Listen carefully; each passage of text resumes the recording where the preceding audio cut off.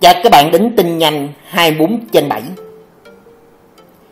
Cận cảnh BMW M1000R 2023 ra mắt thị trường Thái Lan với mức với hơn 1 tỷ đồng. BMW Motorrad Thái Lan vừa ra mắt cái chiếc là BMW M1000R 2023 cái mẫu mô tô mới nhất gia đình là BMW M. Kế thừa cái bản sắc đặc trưng của cái chiếc nước cơ bay hàng đầu là BMW S1000R và cái dòng Superbike BMW M1000 ERR. Mức giá bán chính thức thị trường Lan rơi vào khoảng 1,6 triệu bạc Thái, đổi ra tiền Việt đó tương đương là 1,08 tỷ Việt Nam đồng.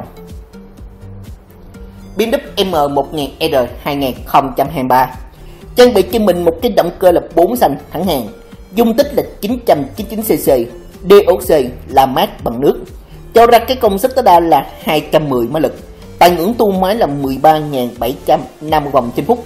Trong khi mô men sức cực đại là 113 Nm tại ngưỡng tua máy là 11.000 vòng trên phút. Tốc độ tối đa là 280 km/h.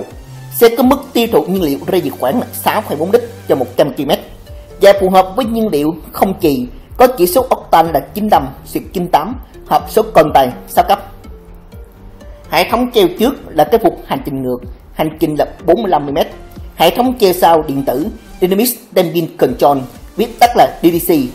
Trên kia hệ thống che sau là một nồi sóc hoạt động với phần cấp đo bằng nhôm. Các thiết lập DDC đã được điều chỉnh giúp hành trình giảm sóc đạt ở mức 120m và cái hành trình giảm sóc sau là 117m. Hệ thống phanh đi kèm chế phanh đi kép bánh trước và phanh đi đơn đặt bánh sau. Cái trọng tâm của M1000R 2023 đó chính là cái gói M Competition với những cái tính năng cải tiến giúp nâng cái hiệu suất của chiếc xe lên một cái tầm cao mới. Điều này bao gồm cái màu sơn hoàn thiện Leston M Motorsport, phần yên thể thao M, cái bánh xe sợi carbon M, cái các chân M và các bộ phận M từ cái sợi carbon khác xung quanh thân xe như cái chắn bùn sau, chắn xích, chắn bùn trước, nắp bình xăng hay nắp hộp vỏ vân vân. Hệ thống phanh em đã được phát triển dựa trên cái kinh nghiệm thu được từ hệ thống phanh xe đua BMW Motorrad trong cái giải vô địch thế giới Superbike, khiến nó trở thành một cái dòng mô tô thứ hai thương mại được trang bị cái công nghệ này. Về mặt công nghệ thì M1000R 2023 sẽ đi kèm với bốn cái đải gồm Ren, Cross, Dynamic và Ray. Chế độ Ray Pro sẽ có ba cái mức độ phản ứng bướm ga và tùy chọn phanh động cơ, kiểm soát khởi động và hệ thống hỗ trợ hành trình ngang dốc hệ thống Resist Assistant Pro hoặc là Quick ship hai chiều cho phép chuyển số lên và xuống hầu hết ở mỗi giải cái tải trọng và cái giải tốc độ động cơ mà không cần cái điều khiển ly hợp. Hệ thống cái giám sát lớp là ADC, cái đèn pha LED khi bầu cua, cái cánh gió nhô ra từ hai cái hồng bình xăng và chúng được cho là cái cung cấp thêm 11 kg lực kéo xuống ở tốc độ 220 km/h.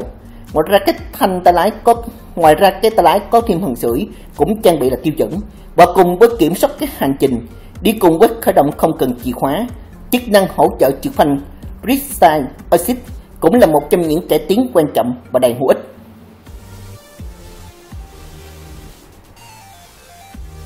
Cảm ơn các bạn theo dõi clip này. Hãy tiếp nhớ like, subscribe.